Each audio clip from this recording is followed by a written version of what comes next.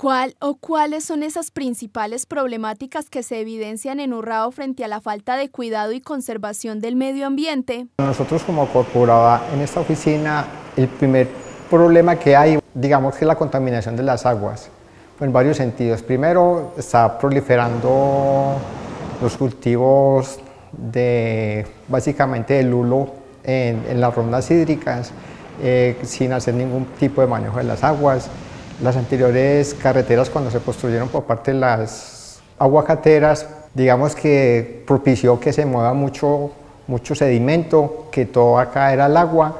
Hemos dicho, el agua es como el, el que repercute todas las mal manejo ambiental que se hace en el, municipio. Pese a esta problemática, el territorio de Urrao cuenta con varias entidades que, a través de acciones, aportan en pro del cuidado del entorno natural e incluso el despertar de una conciencia ambiental. Urrao eh, va desde el páramo hasta los diferentes ecosistemas que se encuentran en las diferentes eh, veredas, es decir, en las diferentes áreas que estén eh, protegidas o no protegidas, de las cuales se ha realizado un proceso de educación ambiental con el fin de proteger todas estas áreas que son sumamente importantes para eh, nuestro municipio. Con el fin de generar esa conciencia ambiental, el parque desde el 2020 ha venido trabajando en la compra de 11 predios que están dentro del área protegida con el fin de realizar el proceso de restauración ecológica participativa, participativa eh, activa o pasiva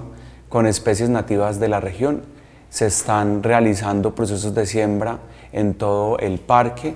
El parque cuenta con dos viveros donde se está germinando estas semillas nativas y se trabaja también en articulación con las instituciones educativas con el fin de socializar, sensibilizar frente a la importancia del cuidado y la protección de todos los recursos naturales que tiene el parque, pero también que tiene el municipio de Urrao. Empresas Públicas de Urrao en esos momentos se encuentra ejecutando un convenio interadministrativo con la, con la alcaldía, el cual eh, busca que la población maneje adecuadamente los residuos sólidos. Ese convenio se llama el PEGIR y hacemos diferentes campañas y actividades dirigidas a un manejo adecuado de residuos para cuidar el medio ambiente.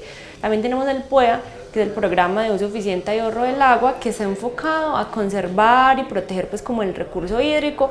También se capacita a la comunidad en como recomendaciones para ahorrar el agua, también se hacen eh, inversiones pues como eh, todo enfocado en esa conservación del recurso hídrico, especial pues el río Urrao.